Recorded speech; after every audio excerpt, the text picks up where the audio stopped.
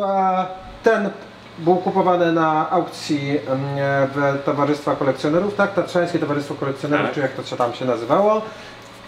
Jesteśmy na etapie. Kupiłeś go w Zakopanem, my jesteśmy całą rodziną na, na wakacjach w Zakopanem, wakacjach w cudzysłowiu. E, To jest samochód, który właśnie kupiłeś na aukcji. Mm, I co się dzieje dalej? Po aukcji podchodzi do mnie e, pan Marusarz i mówi, że jego kolega ma taki samochód, mówi francuski chyba, po burmistrzu Zakopanego niemieckiego, niemieckim burmistrzu Zakopanego i nie wie co z nim zrobić, prawda, bo mieli przyjechać po niego ci właściciele Niemcy odebrać i już to jest tyle lat mnie odebrali. Ja mówię, a gdzie to jest, gdzie to można zobaczyć? No, mówi to prosto pan, bo to tutaj w lewo, to w prawo, prawda, tamten. Tam pod górkę. Tamten, ta, tak, ładnie, tamten budynek, taki i taki. No dobrze. To i tak się zakończyło nasze pierwsze, pierwsze spotkanie. Oczywiście zaraz e, pod tą górkę grzeję, zobaczyć co tam jest ciekawego. Znalazłem budynek bez problemu, e, nik- nikogo nie było. Biegam po sąsiadach, żeby dowiedzieć się, e, bo nie mogę prawda, wytrzymać jaki to samochód, jak, jak to wygląda. Jak fajnie. Sąsiedzi powiedzieli, że psanie, tu nigdy nie było żadnego samochodu. No i tak troszeczkę się uspokoiłem, musiałem się, albo ja źle trafiłem, albo zły kontakt. Na, na następny dzień, kiedy już przymierzam się do zabrania e, Mercedesa Rody Halamy, gdzie prawda, kombinuję jak go przewieźć, przecież ja jestem maluchem, tu Mercedes, który nie ma jak tego zaholować, a przecież nie wezmę lawety, bo to głowa boli. No do malucha lawety nie doczepisz. Przychodzi znowuż pan Marusarz. Przychodzi pan Marusarz, no jak się udało z tego? Ja nic się nie udało, bo y, tam jest ciągle zamknięte, a y, goście mieszkający obok w tym samym miejscu twierdzą, że tam nigdy nie było samochodu i nie ten. No to ch- chodź pan ze mną. No i we dwóch żeśmy ruszyli z powrotem w tę miejsce, w tą górkę.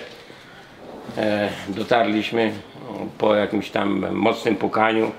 Gość otwiera.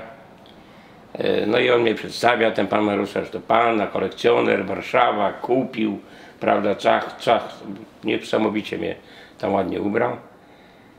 I w sprawie tego samochodu, co masz i tego. Jakiego samochodu? Ja nie mam żadnego samochodu. Taka trochę gra w wariata. No to ja już chcę się tyłem wycofać, po co drażnić człowieka. E, poczekaj pan chwilę, e, ja pana zawołam, pan Marusarz mi rozkazał. Ja przed dom, stanąłem przed domem i liczę, prawda, barany. E, po jakichś 20 minutach wychodzi pan Marusarz i mówi, no, wie pan, tamten budynek obok, tam jest monopolowy. E, pan przyniesie coś tam takiego z tego monopo- monopolowego dobrego i pan przyjdzie tutaj do nas na górę. Dobrze, w końcu jestem tam po to, żeby odkrywać jakieś tajemnice. E, to- jest jedyny sposób, znaczy jeden, jeden ze sposobów odkrywania wielu tajemnic. kupiłem dwie butelki, prawda? Poszedłem tam do panów. No oczywiście szybko te butelki się skończyły, ale ani słowa o samochodzie. No to kiwa pan Marusarz, żebym biegł na dół.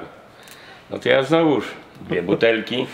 Mam już tego dosyć, bo już mi się nogi uginają, ile można. A facet dopiero zaczyna, a nie jesteś pan z milicji? Ja mówię, nie, nie jestem z milicji. A na pewno? Na pewno. Bo wie pan, ja to tak mam nielegalnie. Bo ten Niemiec jak wyjeżdżał, kazał mi pilnować, że on po niego wróci, przyjedzie. Ja mówię, ale co to za samochód? Myślę, że o, czy wartość może to jakaś dekapka, jakaś zwykła albo coś gorszego. No, to panu pokażę. Schodzi, wychodzimy przed dom. Nie ma garażu żadnego, nie ma nic. Ale jest taki rząd komóreczek, taki góralski komóreczek drewnianych, które, drewniano-ceglanych, niziutkich, które są na, e, na węgiel, na drewno e, do opału mieszkania. Wchodzimy, e, otwiera takie drzwiczki, które są na wysokości jednego metra. że Trzeba było dobrego kroka dać, żeby wejść do środka. Pytam się, dlaczego to tak, a on mówi, a jak śniegi są, to co? No tak. Wchodzimy tam, a tak, po jednej stronie leży węgiel, drzewo, a po drugiej stronie tej komóreczki, która ma tak 2 metry na 3, zasypane gazetami. No, mówi, wybieramy te gazety. No, wybieramy te gazety. Oczywiście myszy uciekają, bo te myszy już tam mieszkały od lat w tych gazetach. Pytam się, po co panu te, te, tyle tych gazet pan tu trzyma? A mówi, a papier toaletowy to skąd ja wezmę? Ciągle człowiek zapomina się, jakie życie jest. Ale odsunęliśmy ileś, ileś tych paczek gazet powiązanych sznurkiem i wyłania się błotnik. Bardzo ładny błotnik. Odchylamy to dalej, na błotniku stoi y, niemiecka flaga z y, proporczykiem. O, wrażenie niezłe. Y, tu już nie, nie bardzo mogliśmy wyrwać te gazety, bo one się posklejały. Zaczęliśmy od dupy strony. Odchylam, Czyli od tyłu. tak. Odchylamy to. Ja patrzę, jaki to Citroen. To miał być francuski samochód. A ten kuferek zgrabniutki, ładny taki. No i oczywiście po odkryciu górnej części okazuje się, że jest to samochód marki Adler. Bardzo ładny, y, tapicerkę zjadły myszy, ale ten samochód ciekawy że był, że on nie miał ani jednej dziurki. Po prostu te gazety spowodowały, że one ściągały wilgoć i ten samochód nie drzewiał. Wie- Było nawet, można powiedzieć, 60% lakieru na nim. No dobra, a teraz tak, powiedz mi jeszcze e, jedną rzecz, no bo z jednej strony znalezienie, to znalezienie, odgrzebaliście, no ale e, co się dzieje, jak wyglądały negocjacje? No i właśnie wtedy się zaczynają negocjacje. Negocjacje, ale ciągle jestem przerażony, że trzeba wziąć helikopter, żeby go przez, wyciągnąć stamtąd. Bo tu, tu murek drewniany, tam jakaś konstrukcja e, z cegieł czerwonych. E, ale tego nie poruszam. Na razie zobaczymy, czy po prostu to jest w zasięgu finansowym.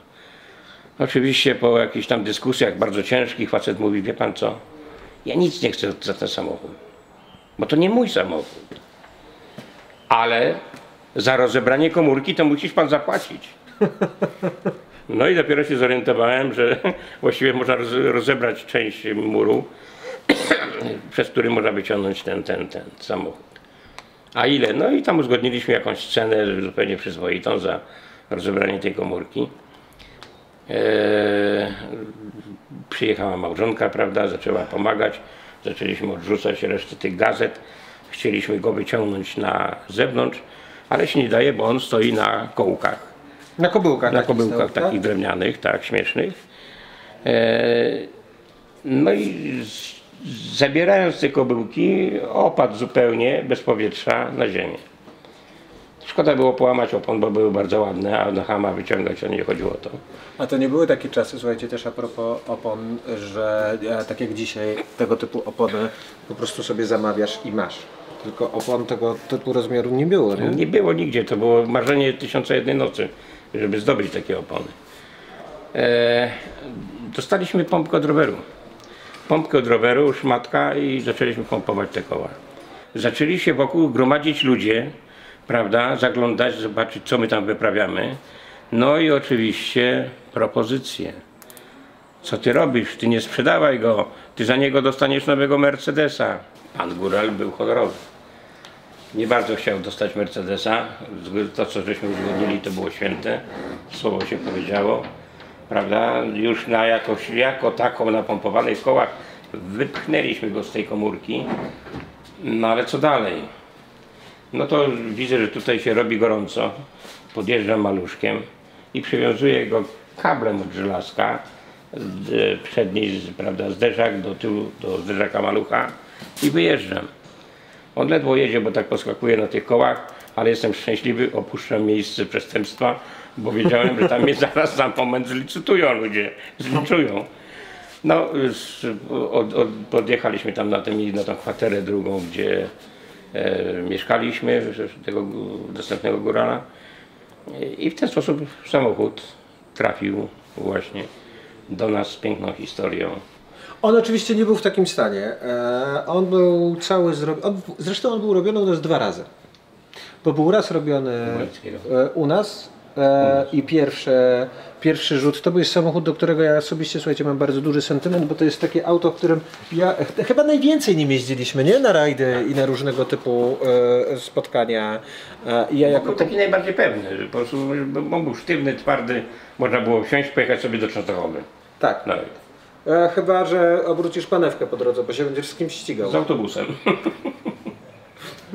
No, mój tata strasznie się chciał ścigać z autobusem i obrócił panewkę.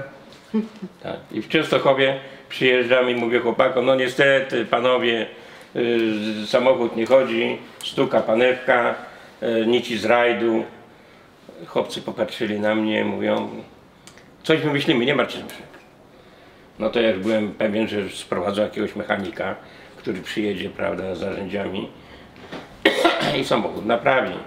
A oni przynieśli z pięć stolików E, rozstawili napoje sobie dla siebie na tych stolikach. Przywieźli, przynieśli z 10 kg kluczy, rozsypali mi koło samochodu i mówią właź i zdejmuj miskę. Tacy to byli koledzy. No i było klepanie panewki na krawężniku. I panewka, która była zwinięta, leżała w misce olejowej. Na zwykłym krawężniku wyklepałem ją na kółko, założyłem, ścisnąłem i raj to jechało. I drugi raz ten samochód był robiony em, przez Jacka Balickiego właśnie. Sędziarska Belskiego. E, Jacka Balickiego zresztą Wam już zdążyłem e, w jakimś tam małym fragmencie pokazać i mam nadzieję, że link do tego materiału gdzieś się tutaj pojawi, a, czyli faceta, który jako jeden z pierwszych w Polsce zaczął w ogóle rekonstrukcję usługowo.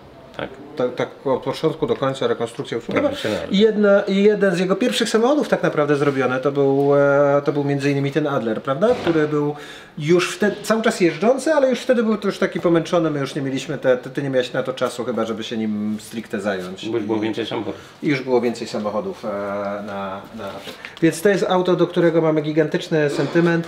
To jest historia Adlera Primusa, który został znaleziony e, i zamurowany w Zakopanem.